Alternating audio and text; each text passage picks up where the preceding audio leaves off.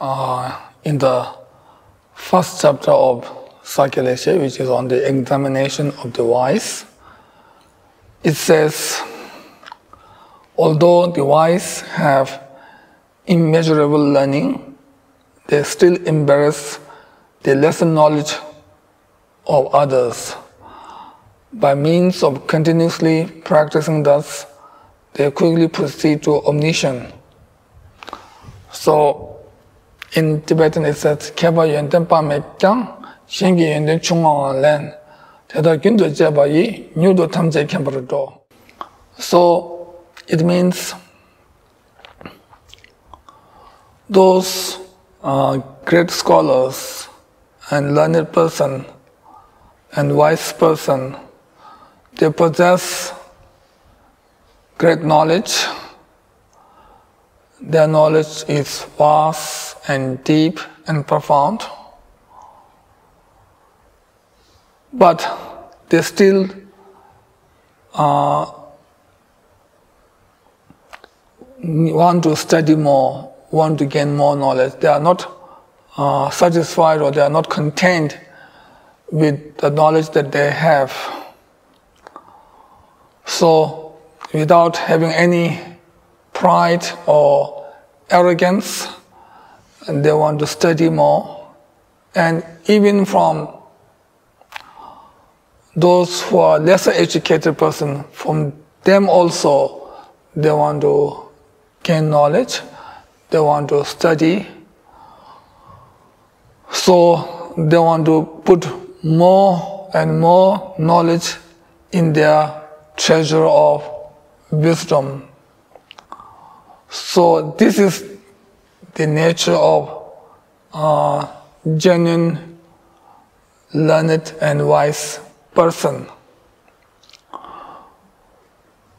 So by doing this continuously without stopping and continuously having the great diligence to study with great joy, then such person with such uh, continuation can become omniscient uh, in short period of time or within short time they can become omniscient or they can become omniscient faster than others.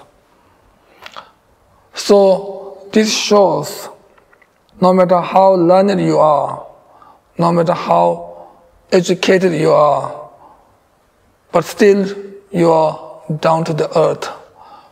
Still you don't have any pride or arrogance. You don't disrespect those who are not educated, you still respect everybody, still treat everybody equally, irrespective of their knowledge, whether they are educated or not. They respect all without any discrimination.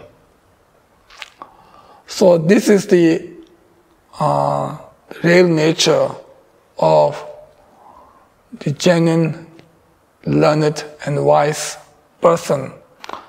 So this verse or this teaching give us the advice, no matter how learned we are, we should not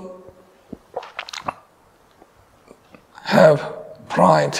We should not have arrogance because pride and arrogance is something that can spoil the person, that can make person uh, more distance from others. People will not admire those who are very proud or who are very arrogant. they will not like such person. So although such person has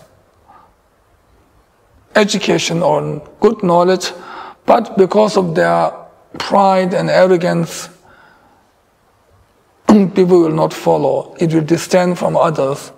And if people will not follow, or if people don't like, then one cannot use the knowledge in a proper way. One cannot benefit others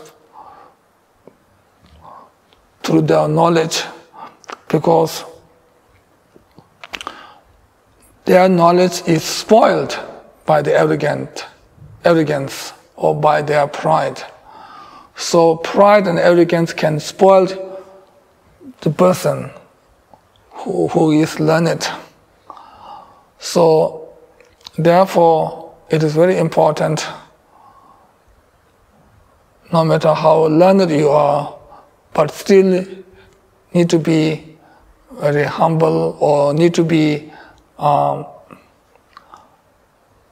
friendly with all the people from the different walks of life, or still need to respect everybody, still need to make friends or need to live harmony with everybody without seeing some uh, as a low person or some as an object of disrespect, etc.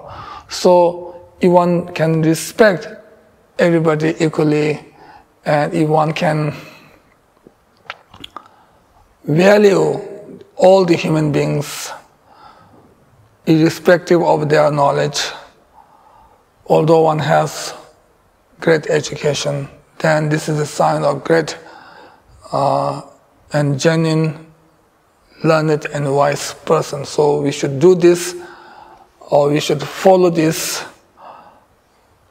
footstep. By following this footstep, one can be happy and one can make others happy and one can benefit others through one's own knowledge.